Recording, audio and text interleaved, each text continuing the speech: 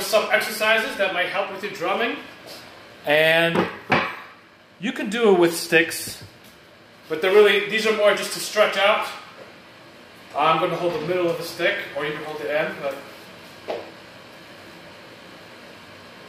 because your drumming does, a lot of it does come from your stance and your core. So this is just how Wujun you just turn your waist, loosen up, loosen up your shoulders, relax. This encourage, if you're hunching forward, you're really not going to be able to do this. And so basically that'll help with your posture, which is important with drumming. Next we'll do with Paokyu. This one stretches out the shoulders.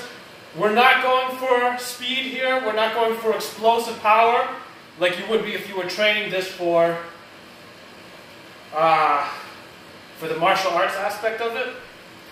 We're going more for to loosen up our shoulders so we don't want to hurt ourselves by going too hard. So even if you went like really slow, that's alright because we're doing this as a stretch for drumming.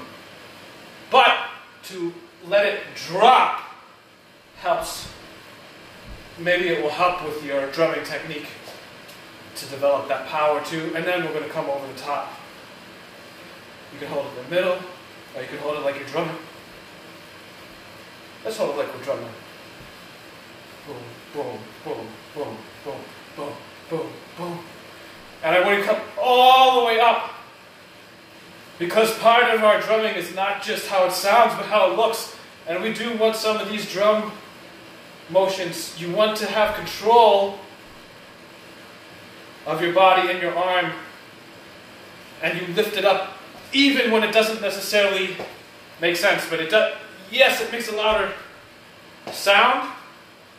But more importantly, it looks cool. And we want us all doom, doom, doom. When we do something like that, to have that hand all the way up. And then we're going to do be now, which is similar to that uh, drum, the two strings. Do-doom, do-doom, do-doom, do-doom, do-doom. Right? So this will loosen you up and get you drumming from your stance with your whole body. Boom, and get you some of that control. Oh, let's do this one too. Boom, boom, boom, boom. And that will help with that. Other move I had showed you before where you're going doom, doom, doom, doom, right? So, over, boom, boom, boom, boom, boom, boom, boom. Again, we're looking more for control over the stick, control of your arm, control of your body. Not just like flailing. All right? So work on those, and of course, work on everything else we've practiced.